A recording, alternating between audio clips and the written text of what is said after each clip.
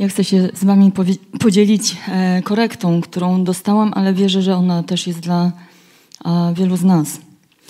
E, jakieś dwa tygodnie temu, jadąc tutaj na modlitwę wstawienniczą, e, spieszyłam się, tak, bo byłam troszeczkę opóźniona. Wjechałam na estakadę, która skręcała w lewo i jechałam szybszym pasem. I patrzyłam tak z lekką taką wzgardą na ludzi, którzy y, po prostu podążali sobie tym wolniejszym pasem, jadąc zgodnie z przepisami. I kątem oka zauważyłam y, znak uwaga wypadki. I myślę sobie, jakie tutaj mogą być wypadki? I w pewnym momencie wyjeżdżam z za zakrętu i widzę taki obraz. Człowiek na piechotę idzie w moim kierunku, zbiera odłamki a, y, reflektora, a jego samochód jest odwrócony do, y, odwrotnie do kierunku jazdy. Chodziłam sobie trochę z tym.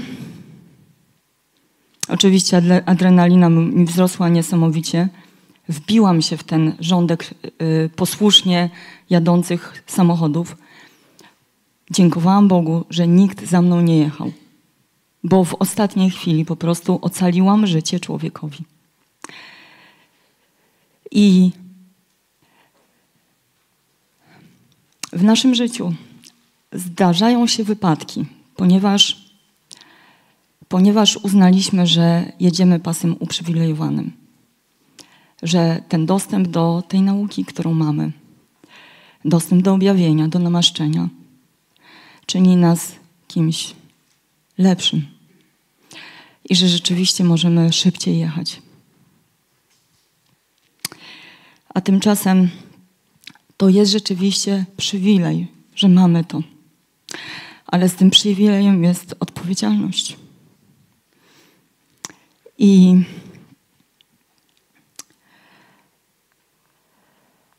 jazda tym pasem to jest odpowiedzialność. Bóg mi pokazał, że jeżeli nie będziemy z drżeniem sprawować tego, co tutaj jest uwalniane, to się wywrócimy, tak jak ten człowiek, w ogóle w odwrotną stronę. Wysadzi nas to ze służby. I usłyszałam coś takiego. Szlachectwo zobowiązuje. Druga rzecz. Ta sama podróż. Nadal się spieszę. I wiecie, mm, tak po warszawski, to chyba tylko warszawiacy tak jeżdżą. Chciałam przystwaniakować. E, I jadę sobie środkowym pasem i chciałam po prostu zjechać na wewnętrzny pas, naj, najwolniejszy teoretycznie i wyprzedzić tego człowieka, który tam przede mną jechał. I nie zauważyłam, miałam martwy punkt w lusterku.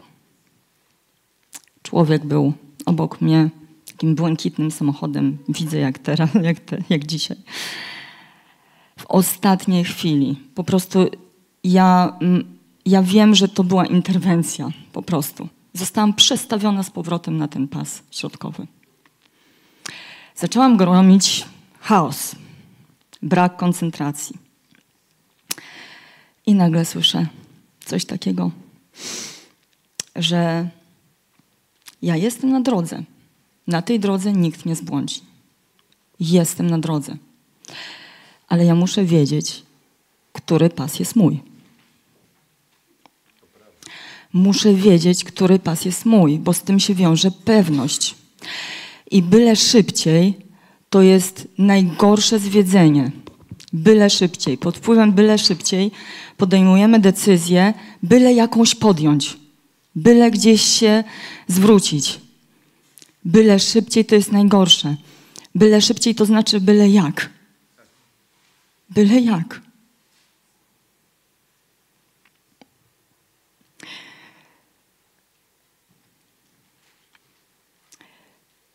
Ja przeklełam byle szybciej w swoim życiu. I postanowiłam zmienić szybkość na pewność. Nie? Można zwolnić i wtedy ma się czas na to, żeby w ogóle się zastanowić i pomyśleć i pomodlić, w którym pasem ja mam jechać. I stamtąd mnie nic nie wytrąci. Nie będę chciała szybciej zmieniać. Amen.